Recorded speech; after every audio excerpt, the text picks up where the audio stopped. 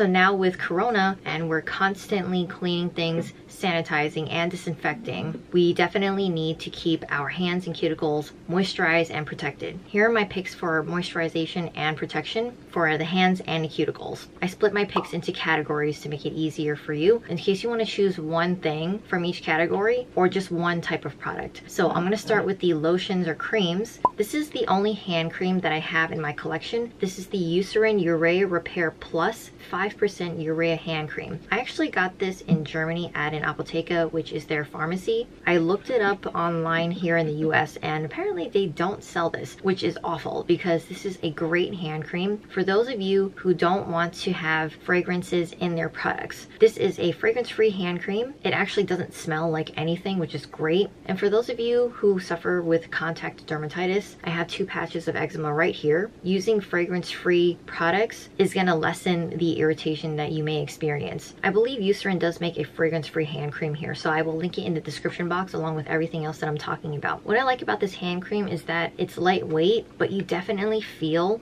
a little bit of thickness or heaviness from the moisturization. Urea is a great ingredient for protecting and moisturizing the skin. It also contains ceramides to protect the skin. I did mention this in a favorites video that the only thing I don't like about this product is that it doesn't do anything for really dry cuticles and my cuticles are the absolute worst. So I decided to try my trusty moisturizer. This is my all-time favorite moisturizer for face and body. It's the Vanicream Moisturizing Skin Cream for sensitive skin. The reason I love this is because it's non-greasy, it's fragrance-free, and it's very moisturizing. It's actually a miracle worker for those of you who suffer with irritation. Even on rashes or eczema patches, flare-ups, I put this on and within a couple minutes, that irritation and the itchiness absolutely gone. Even the redness. It's a much thicker moisturizer. Vanicream does make a light lotion, but just in terms of moisturizing really dry hands, this is perfect. It's thick, it's moisturizing, but it is non-greasy. So although it does take a bit of time to sink in, you can still go about touching things without leaving a greasy mess behind.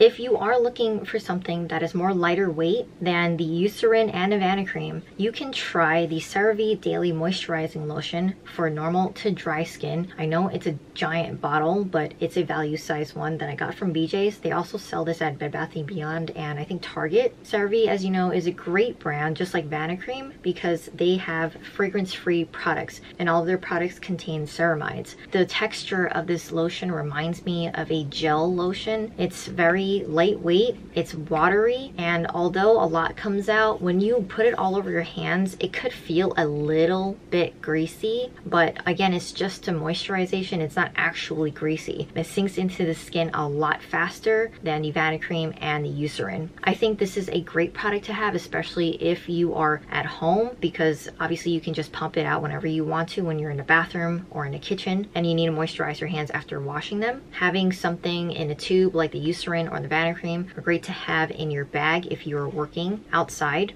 but if you do deal with like super chronically dry skin and lotions and creams, they just all irritate your skin or you just need pretty much a barrier, then I recommend trying an ointment. I have two ointments always in my arsenal. I'm not sure if I want to keep repurchasing Vaseline because Aquaphor does everything for me. I love Aquaphor. It's fragrance free again. So is Vaseline. They're both great for protecting cracked and irritated skin. So obviously because they're ointments, they're not meant to actually moisturize your skin. They're just meant to keep the moisture in your skin. They are very thick. They are very greasy. They probably won't ever actually absorb into the skin so much where you can just go about touching things afterward. But you can always put on gloves after that and then go about your business. Pairing it with gloves over top is really going to help keep your skin really soft and moisturized. My cousin suffers with psoriasis and he can't use anything else but Aquaphor. So I definitely recommend picking up Aquaphor or even Vaseline and trying that out. Now, if you're more of the natural or clean type person,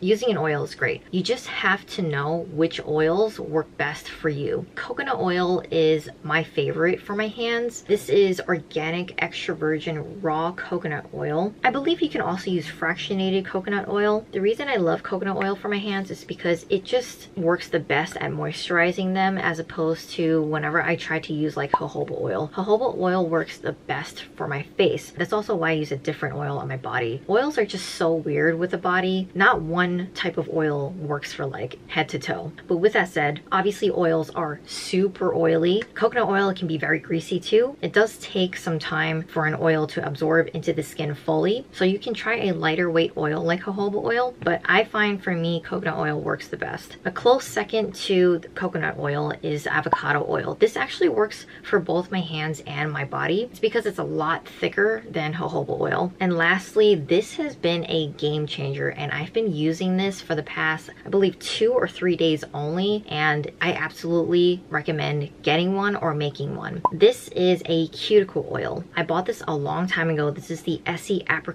Cuticle Oil. I'm surprised they even still make this. I hardly used it because I was already using coconut oil and jojoba oil in my routines that I thought, why did I just buy this cuticle oil? But for some reason, this cuticle oil moisturizes my cuticles way better than any of the oils that I have in my collection. It looks liquidy and lighter weight than my other oils, but it actually feels a lot thicker. You can see on my middle finger especially that I have a lot of dry skin there. And when I use the cuticle oil, that completely went away. You can also DIY your own cuticle oil. I'll put a recipe in the description box that I got from Google. I have not yet made my own because I own this, but in the future I will. But I definitely recommend paying attention to your cuticles, not just your hands. That will help to strengthen your nails. I forgot to show this one. The other hand treatment for lotion type or cream is the La Roche-Posay Lipikar Eczema Soothing Relief Cream. This is for eczema prone skin. This isn't just for the hands. You can also use this on the body and the face. This is my body cream that I've been using for about like two months now. This contains colloidal oatmeal, which is a skin protectant,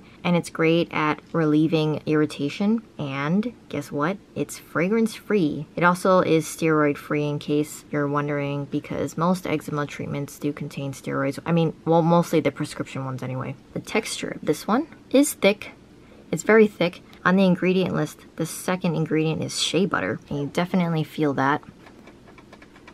You see, it's thick, but it melts really fast. You see that oily film there? I really like this for the body though because I really feel moisturized for hours afterward. And for the hands, feels exactly the same way. So if you touch something, you're definitely going to leave a greasy handprint on it. You can see for my cuticles, it works pretty well actually. I think it is in part to the shea butter in there. I wish they sold this in a smaller size, so in case I wanted to put this in my bag to take out with me. So if you do have eczema or irritated skin on the hands, like I do right here and here, this is a great option for you. So now here are some habits that you should develop when you are moisturizing and protecting your hands and your cuticles. So number one, every single time after you wash your hands, you must moisturize. So gently pat dry your hands and then go in with your choice of moisturizer. I always have coconut coconut oil, Vanicream, and Aquaphor in the bathrooms. Actually, the CeraVe sits underneath my sink in the bathroom too, but I don't use that one as much as the other ones because my hands are really, really dry. I have my hand cream at my desk at all times just in case I like want to rush out of the bathroom and come back to my desk. And I do have my cuticle oil at my desk at all times too. The second habit that you have to develop is with any moisturizer that you use for any part of your body, but especially your hands, your cuticles, make sure that you take the time to actually rub them in. There's no point in taking your moisturizer and just putting it on your skin and then leaving it like that. With your cuticle oil especially, or if you don't have one, you're using a cream, an oil, an ointment, make sure you spend time and massage your cuticles and get the product absorbed into them. That's the only way you get your moisturizers to work for you. And of course, if you want to go about your business and touch things, make sure that they're at least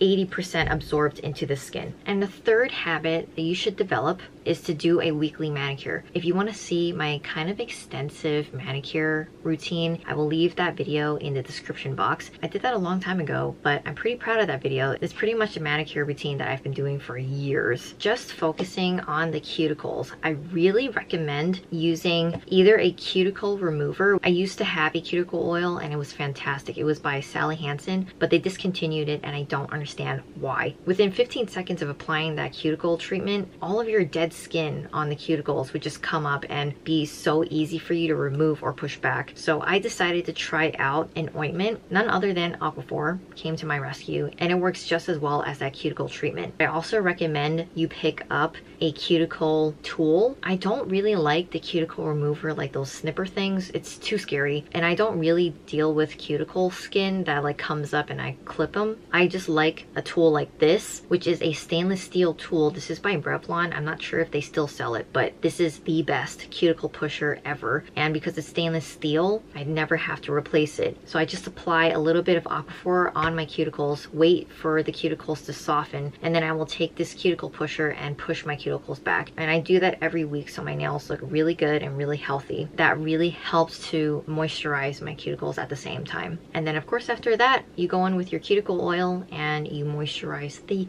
heck out of them. Give this video a thumbs up if it was helpful. Subscribe to see more videos. I would love to have you guys here. I will leave some related videos on the screen for you to watch any of them next.